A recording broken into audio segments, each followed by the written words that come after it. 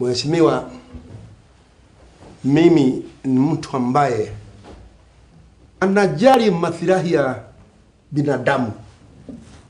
Sana sana sana, hasa hata mahali ile mimi deraka watu manakujaga kwangu sababu mimi ni mtu iko na pesa. Tu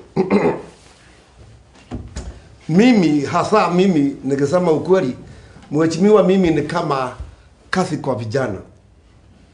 Sitaki kuona vijana manarandaranda, nataka wafanye kazi ya mjengo, kwa sababu mwanaume ni kunuka jasho. Timu iko timu. Eh, vile vile mimi ninasikitika sana sababu ya ile mambo ilifanyika, na niko tayari saidia wale mahayati marekoda kusaidia kwa gharama. Kwa hivyo ninaomba watu yao malete invoice ndio niweza kumarifadi